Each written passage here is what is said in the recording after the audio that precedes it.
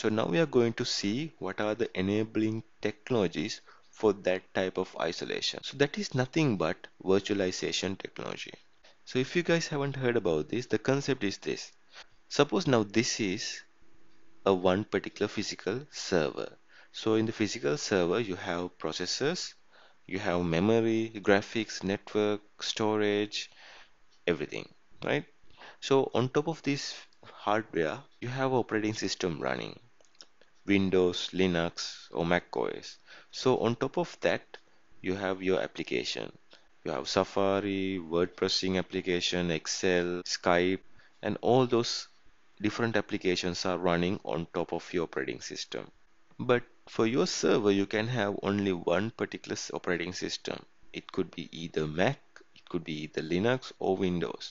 If you want to have multiple operating systems and distribute these resources among those multiple operating system in a shared manner. So you have to use a virtualization layer on top of your physical hardware.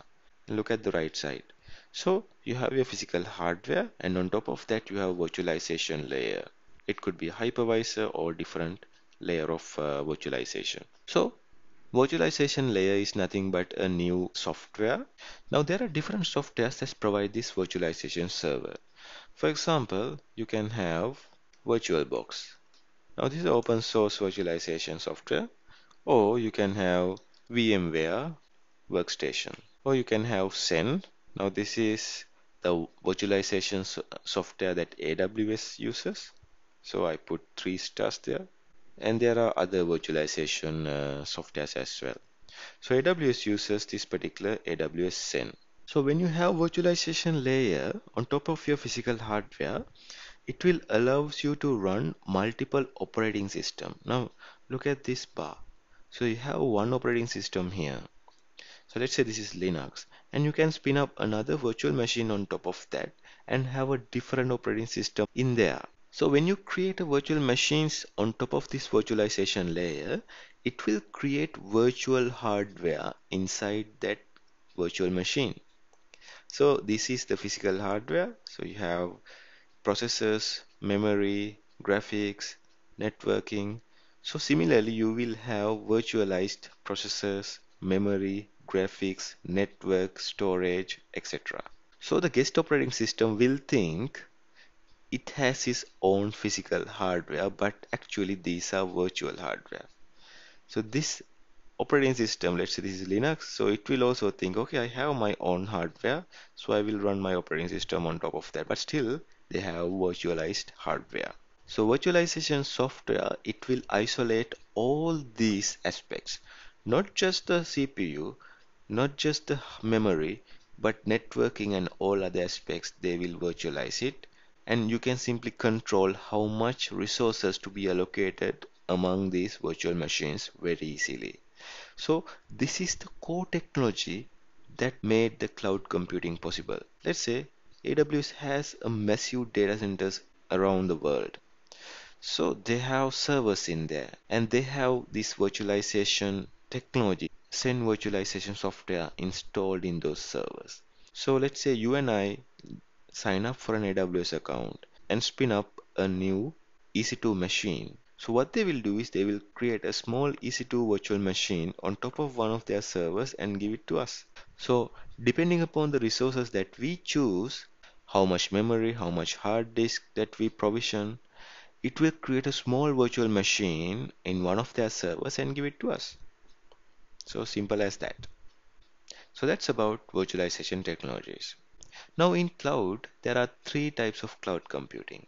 Let me walk you guys through them. First one is called Infrastructure as a Service, or for short we call it IaaS. So what does Infrastructure as a Service mean? So let's take the same scenario. You have your e-commerce website and you want to deploy it onto the AWS. So you tell AWS, AWS give me a server or a virtual machine with 500 GB hard disk and 1 GB RAM and uh, this many cores of CPUs right? So you are only asking your server with the physical or virtual hardware, right? And AWS will provision a virtual machine using the virtualization technologies and give you a virtual machine with this amount of hardware and this amount of RAM and this amount of CPU. So afterwards, it's up to you to install the operating system. It could be Linux, Mac, Windows, and then install your application servers. For example, if your application is a Node.js application, you have to install Node and you have to install Express and all the necessary softwares to run your application. Not only that, but also the database server. If it is MySQL or SQL Server or Oracle, so those database servers also you have to install. So it's your full responsibility to install all these servers and finally get your website up and running on them. So you have the full control over your virtual machine or the physical server. So that is called infrastructure as service. Now the downside of that is even though you have the full control, there will be a lot of administration stuff for you to do. You have to patch your operating system. If the operating system gets a new security update, you have to make sure the server is updated. If your antivirus get a new update, you have to make sure that is up and running and it is updated. But that's a choice. And the next type of cloud computing is called platform as a service, or in short, we call PaaS. Now let's take the same scenario. You want to host your e-commerce website, but instead of asking a server from AWS with physical or virtual hardware, you will say, AWS, give me a virtual machine with Linux and MySQL databases installed. So there, AWS will provision a machine, install Linux operating system, and install MySQL database and give it to you.